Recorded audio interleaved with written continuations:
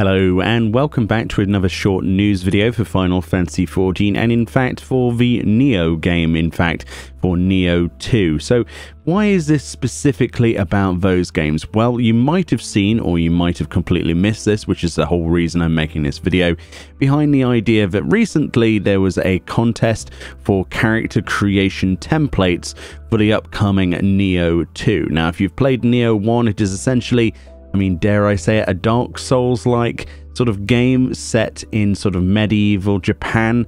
And uh, yeah, so essentially on that basis, there's all kinds of evil monsters, sort of yokai creatures to fight. And Nioh 2 is supposed to be more of that uh, with uh, a whole new storyline. But a character creation in that game was never really a thing, but it seems that for Nioh 2, that is very much the focus this time around, with special focus on the ability to actually create a female character as well. So, no, you won't have to play purely as males, which I'm sure will get a lot of fashion hunters interested in this one. So Nioh 2 is in full development currently, and the developers for this posted via social media that the results of the character creation contest to basically have uh, these character entrants as a preset on their template well, essentially, you might recognize a few of these characters here. One specifically from Dragon Age, if you know who I mean.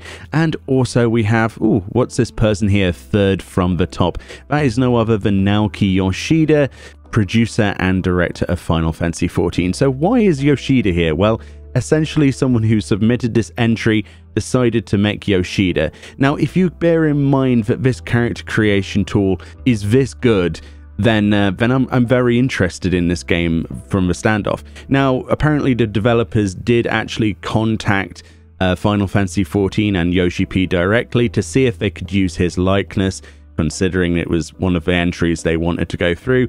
Yoshi P said it's fine with him, and Square Enix agreed to it. So essentially, Yoshi P will be one of the templates that you can choose from when you go to create your custom character in the upcoming new game. How incredible is that? I mean, this is a bit of an unofficial, official crossover if you think about it. But Yoshi P has been more susceptible to the idea that people like him and want to see him in the game. He was a little bit sort of ginger about celebration events for Final Fantasy XIV, the anniversary events, where they introduced him basically as the Wandering Minstrel, and then one of the recent anniversary events he appears in a questline as Yoshi P, which was really mind-blowing really to, to see that, and he thanks the player for their invested time in the game.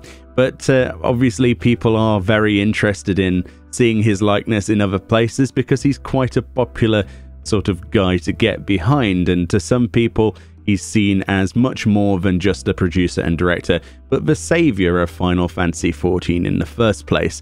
Whether you believe that or not, that's up to you, but he did do a hell of a lot for this game and that cannot be denied. But regardless, Nioh 2, so if you're into your third person action adventure slashy Dark Souls esque difficult games, then you can play as Yoshi P.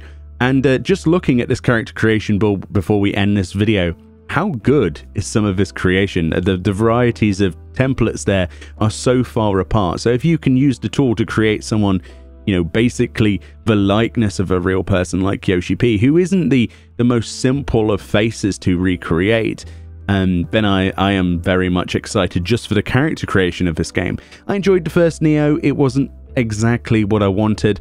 Hopefully the second one lives up to my own personal hopes and dreams for that sort of Dark Souls type game. Either way, thank you kindly for watching. I did think this was worth making a video in case some people managed to miss this under the radar. I know a lot of you already have, but let me know what you think about this and uh, whether you'd like to see Yoshi P and his likeness in lots of other games as well, because I'm sure this is going to be a trend of things to come.